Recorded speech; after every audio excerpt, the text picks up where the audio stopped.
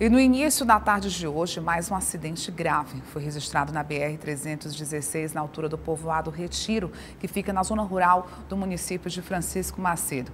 Agora a gente vai acionar o repórter Carmo Neto, ele que está ao vivo e vai trazer mais informações a respeito desse acidente. Inclusive, a gente estava acompanhando né, as imagens dessa colisão mas felizmente não teve vítima. Não é isso? Carmo Neto conta pra gente os detalhes. Boa noite para você.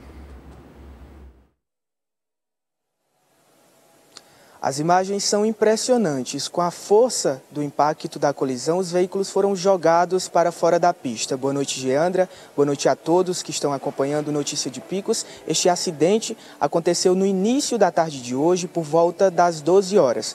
De acordo com informações da PRF, o acidente aconteceu na BR-316, entre os municípios de Francisco Macedo e Alegrete do Piauí, precisamente na altura do povoado Retiro, zona rural de Francisco Macedo. Ainda de acordo com informações da PRF, os dois veículos seguiam na BR-316 em direção à cidade de Alegrete do Piauí quando o motorista desta carreta que transportava gesso teria perdido o controle do veículo enquanto passava por uma lombada e colidido na traseira do veículo que seguia à frente do da carreta. O veículo que seguia à frente era um caminhão baú. Com o impacto, os dois veículos foram arremessados para fora da pista. A carreta chegou a tombar e sair para a margem da pista e neste momento atingiu e derrubou um poste que ficava ali nesta ribanceira, conforme vocês estão vendo nas imagens. Ainda de acordo com informações, os dois motoristas dos veículos, os únicos dois ocupantes que estavam nestes veículos no momento do acidente,